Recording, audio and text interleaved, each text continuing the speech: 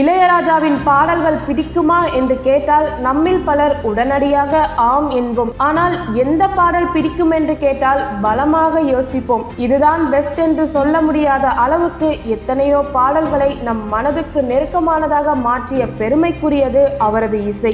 வாழ்க்கை வளர்ந்த சூழல் தனிப்பட்ட அனுபவங்களுக்கு ஏற்ப ஒவ்வொருவரிடமும் பெரும் பாடல் பட்டியலே இருக்கும். அவற்றில் பொதுவானவற்றை தேர்ந்தெடுத்தால் சில பாடல்கள் முதன்மையாக இடம்பெறும். அவற்றில் ஒன்று தம்பிக்கு எந்த ஒரு படத்தில் இடம்பெற்ற காதலின் தீபம் ஒன்று. ஆன்மாவை எளிதாக தொடும் பாடல் ஒன்றை கேட்க விரும்பினால் அதனை எளிதாக பூர்த்தி செய்யும் இந்த பாடல். டூ கே கிட்ஸுக்கும் கூட இதில் மாற்று கருத்து இருக்காது. தம்பிக்கு எந்த ஊரு உருவான காலகட்டத்தில் ஒரு அறுவை சிகிச்சைக்காக மருத்துவமனையில் அனுமதிக்கப்பட்டிருந்தார் இளையராஜா.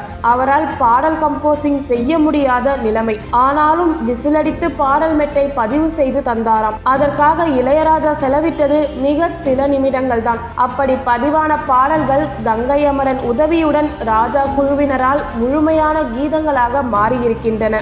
அந்த நான்கு பாடல்களில் என் வாழ்விலே வரும் பாடல் மட்டும் ஏற்கனவே வெளியான மூன்றாம் பிறை ஹிந்தி பதிப்பில் இடம்பெற்றிருந்தது.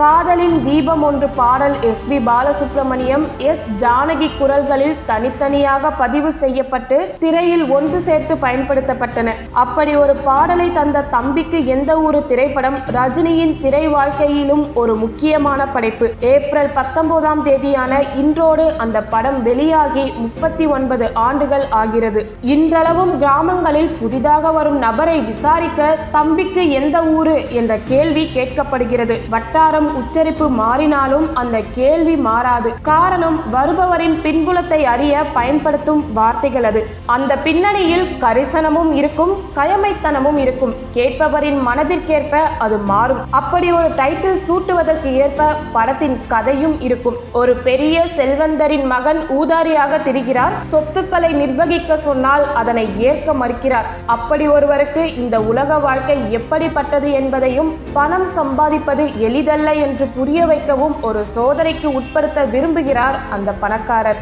மிகவும் கண்டிப்பான நேர்மையான நல்லவராக வாழும் தன் நண்பரிடம் வேலை செய்யுமாறு அனுப்புகிறார். அதனால் பெருநகரத்தில் உல்லாசமாக வாழ்ந்த அந்த இளைஞர் ஒரு கிராமத்திற்கு சென்று ஓராண்டு வாழ வேண்டிய கட்டாயத்திற்கு ஆளாகிறார். அந்த சூழலிலும் தான் யார் என்ற உண்மையை சொல்லக்கூடாது என்பது அந்த மகனுக்கு தந்தை விதிக்கும் நிபந்தனை.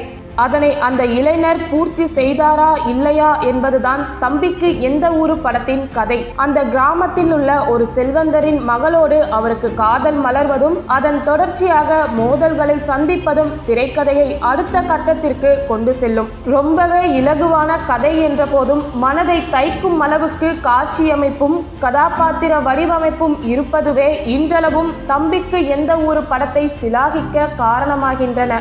எம்ஜிஆரின் திரைவாழ்வில் ஏவிஎம்மின் தயாரிப்பில் திரு. லோகேந்திரன் இயக்கத்தில் நடித்த அன்பேவா ஒரு முக்கியமான திரைப்படம். ஏனென்றால் அது முழுக்க முழுக்க ரொமான்ஸையும் காமெடியையும் சார்ந்து எடுக்கப்பட்டது. அந்த காலகட்டத்தில் வெளியான எம்ஜிஆர் படங்களில் இருந்து வேறுபட்டிருந்தது. அதே போல முழுக்க முழுக்க ஸ்டைல் கலந்த ஆக்ஷன் ஹீரோவாக நடித்து வந்த ரஜினியை குழந்தைகள் பெண்கள் முதியவர்களும் ரசிக்கும்படி செய்த படங்களில் ஒன்றாக அமைந்தது தம்பிக்கு எந்த ஊரு.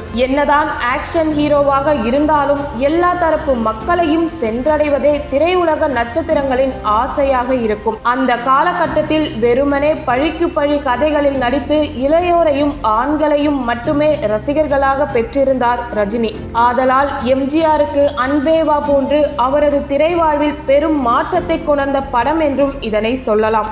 அறைக்குள் நுழைந்த பாம்பை கையில் பிடித்துக் கொண்டு அலறுவது ஓடையில் மாட்டை குளிப்பாட்டுவது உட்பட சில காட்சிகளில் ரஜினியின் நகைச்சுவை நடிப்பு நம்மை விழுந்து விழுந்து சிரிக்க வைக்கும். செந்தாமரையிடம் ரஜினி நக்கலாக பேசிவிட்டு சமாளிக்கும் போது நம்மையும் அறியாமல் சிரிப்பு தொற்றும். கிராமம் குறித்த எந்த புரிதலும் இல்லாமல் அறியாமையுடன் அங்கிருக்கும் பழக்க வழக்கங்களை அணுகுவதாக ரஜினியின் பாத்திரம் அமைந்திருக்கும். அந்த காட்சிகளில் மட்டும் எதுவும் தெரியாத அப்பாவியாக மட்டுமே அவரது பாத்திரம் நடந்து கொள்ளும். பின்னாளில் இதையே தான் ஏற்கும் பாத்திரங்களின் டெம்ப்ளேட்டாகவும் மாற்றிக்கொண்டார் ரஜினி.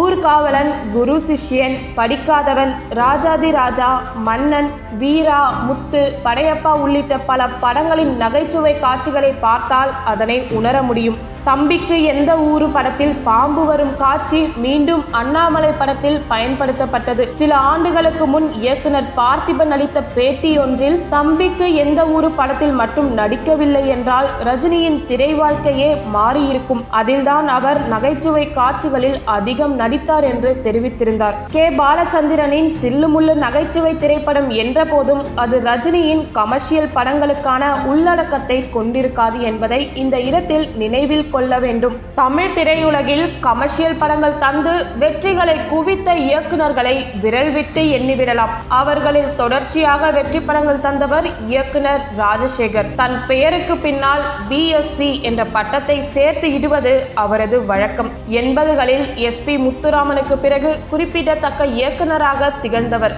தொண்ணூறுகளில் P Vasu K S Ravikumar Sundar C போன்றவர்களுக்கு இருவரும் முன்னோடிகள் என்றால் அது மிகையாகாது.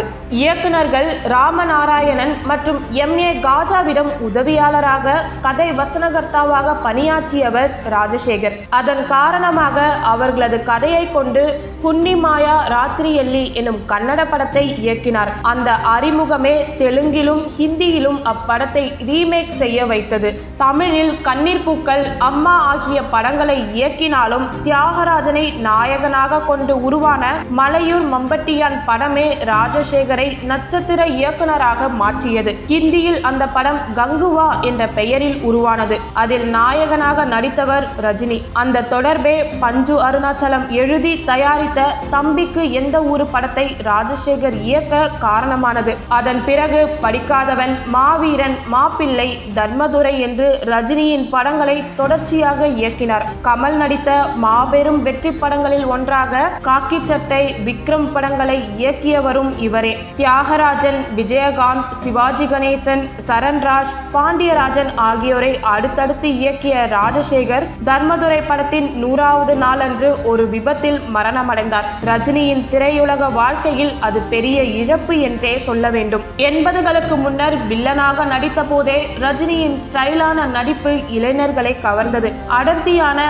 நீண்ட அவரது ஹேர் ஸ்டைலும் ரொம்பவே பிரபலம். பக்கவாட்டில் தலைவாரும் ஸ்டைலை ஊர்காவலன் படத்திலிருந்து மாற்ற மாற்றிக்கொண்டார் ரஜினி. அந்த வகையில் முந்தைய ஹேர் ஸ்டைலில் அவரை மிக அழகாக காட்டிய படமாக அமைந்தது தம்பிக்கு எந்த ஊரு. குறிப்பாக காதலின் தீபம் ஒன்று பாடல் காட்சியில் ரஜினியின் தோற்றம் மிக சிறப்பாக வெளிப்பட்டிருக்கும். உண்மையிலேயே அதில் காதலில் விழுந்த ஓர் இளைஞர் போன்றிருப்பார். அன்று முதல் இன்று வரை ரஜினியின் ரசிகர்களாக இருப்பவர்களின் நெஞ்சில் நிறைந்திருக்கும் தோற்றம் அது. காலம் மாறினாலும் நம் மனதில் இருக்கும் பிம்பம் மாறாது என்பதுதானே திரைப்பட கலையின் சிறப்பு. அப்படி ஒரு ஒரு அழியா பிம்பத்தை தந்து முப்பத்தி ஒன்பது ஆண்டுகளை பூர்த்தி செய்திருக்கிறது தம்பிக்கு எந்த ஊரு. மின்னம்பலம் டாட் காம் தமிழின் முதல் மொபைல் பத்திரிகை.